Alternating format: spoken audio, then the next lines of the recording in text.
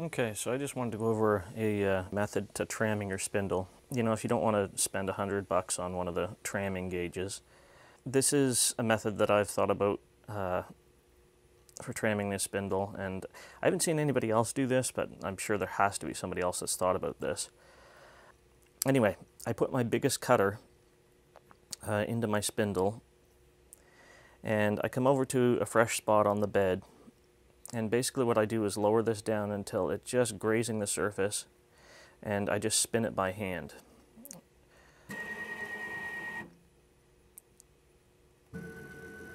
So I'll just sort of show you here.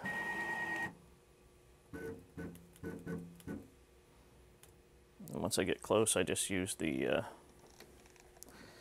the hand wheel and get it down.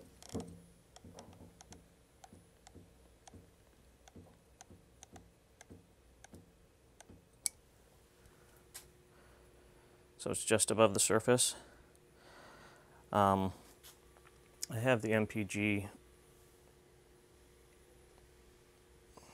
in uh, times 10 mode on the z-axis. I found that to actually be most, most accurate for, and I just go down one click. And you see it's grazing the surface there. So I do a couple rotations like that just to make sure it's clear. Uh, because we don't know if this plate is flat enough. I mean with the 10 millimeter end mill. If I had a 12 millimeter um, you know, the full half inch, I would do it with that, but this is what I have right now. Um, I go down one more click. And it should be a little tougher to turn, and we should be taking out a chip. And that should be pretty level. If you're trammed um, um front to back and left to right, that cutter should make an even even cut all the way around. That's the purpose of only going down that one notch. So when I started, uh, like it would be very light on this side and it would be, you know, a full cut on this side. Um, but as we see now, uh, pretty even all the way around. So that'll get you most of the way there. Then from there,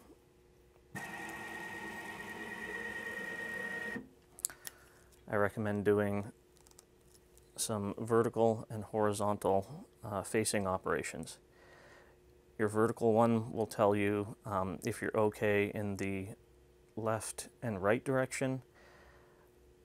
Uh, your lengthwise milling operation will tell you if you're okay in your front to back um, and whichever side of the cut you can feel a little bit of a deviation on, not even a ridge, you want to get it down so that there's like none of that sort of waviness to the surface.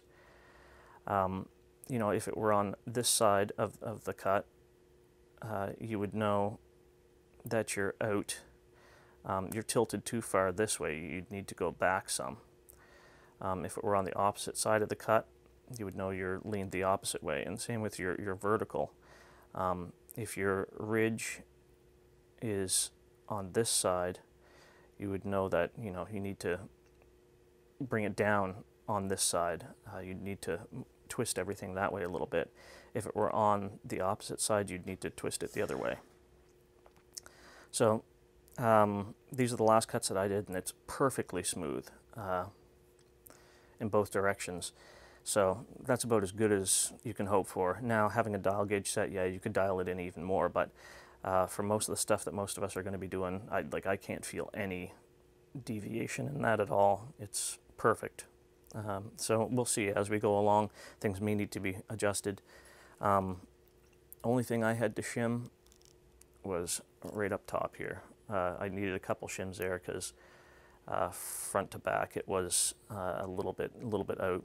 Um, other than that, I had uh, had to twist this uh, 0.05 of a degree, and actually my uh, digital level box is pretty darn close. Uh, I put it to exactly 90 degrees so that it would want to skew um, just slightly back towards 89.95 uh, in this direction, and that seemed to be perfect. So digital box is out just slightly, but you know, if you play with it, and other than that, I haven't done any adjustments since I built this. All of my adjustment time was spent during the build process. So there you go.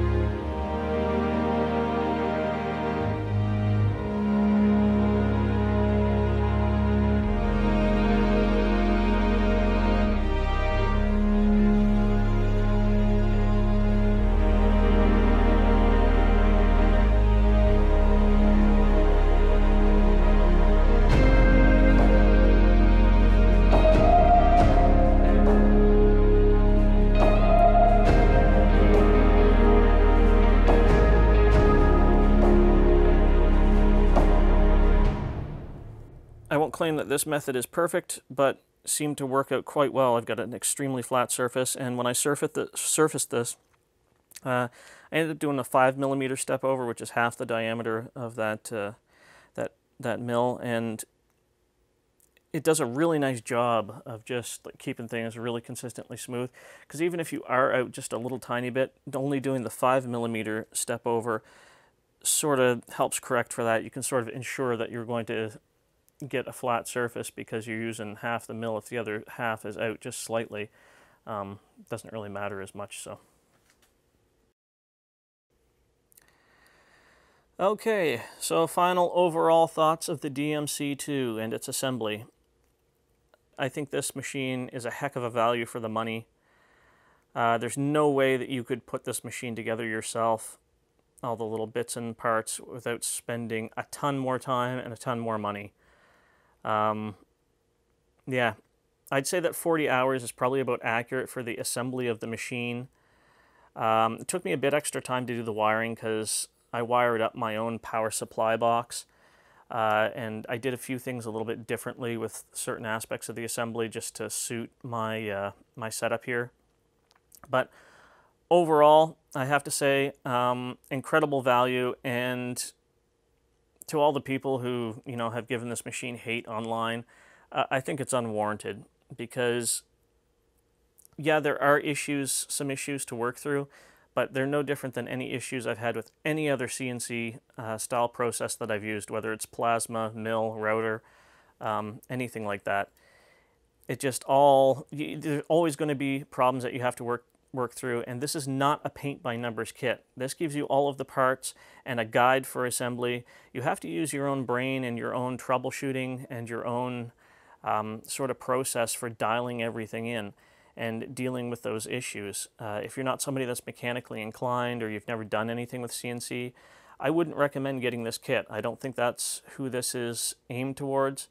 Um, if you're brand new to this, you'd be much better off buying one of the cheaper CNC routers or something like that, doing some stuff with that, learning the mindset and the troubleshooting process that you can go through, figure out what parameters control what. Um, you're going to be very limited with what you can do with those machines, but it's also a much smaller investment. And then you'll know if you're the type of person that, uh, you know, CNC milling is for you or not and then you can maybe decide to uh, take the plunge into something that is a little bit more of an investment like the DMC2, but also has a ton more capability. And trust me, you're way better off making mistakes on a smaller Chinese CNC when you're just trying to cut wood or aluminum than you are on something like the DMC2 and, uh, you know, hitting some steel the wrong way. You saw the first cuts that I did there in that little video. That was just from the setup that I did and alignment that I did as I was assembling the machine, nothing else. And if I can get those type of results without expensive, expensive gauges and dials and tools and a bunch of fooling around, um, well, it's a bit of fooling around. It, it, takes a little bit of time, but you know, you just be patient, you work things back and forth, and you get there. Um, so now I'm getting really great cut results, and uh, just the final couple panels to put on, and uh, that's it.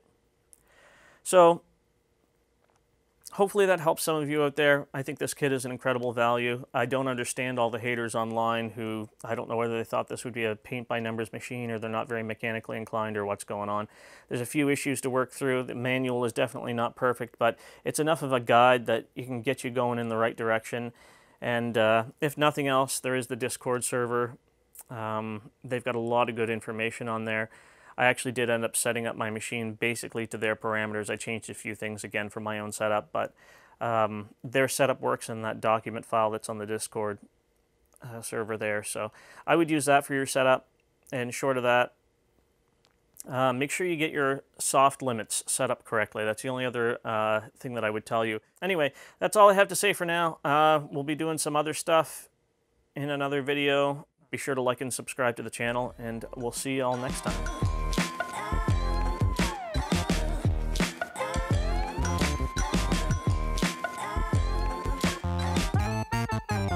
Terms of calibrating the spindle, uh, I see I got some reflective tape on there.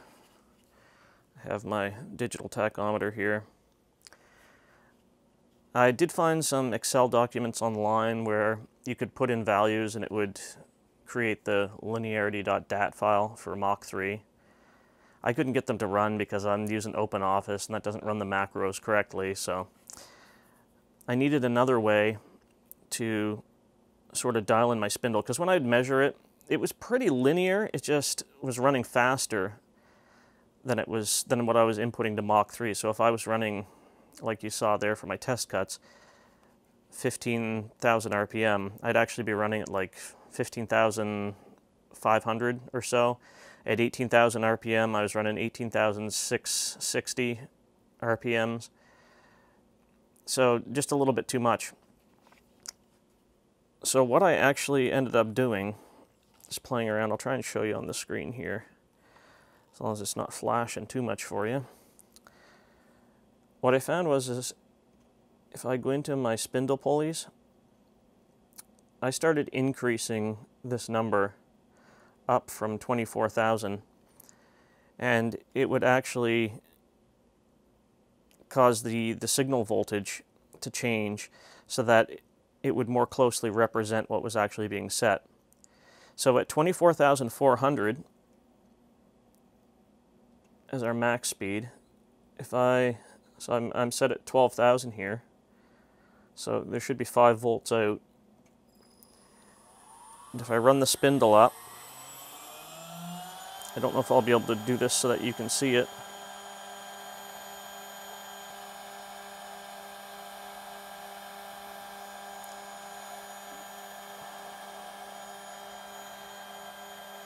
12,000 RPM. So then if I go to 15,000,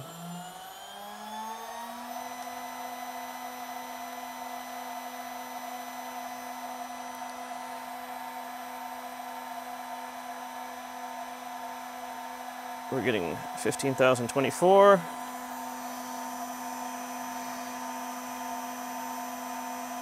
If I go up to 18,000,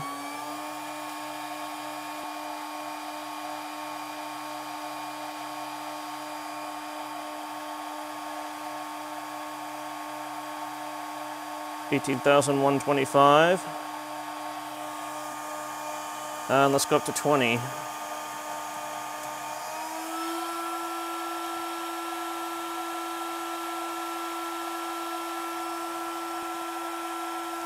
Twenty thousand one seventy seven. So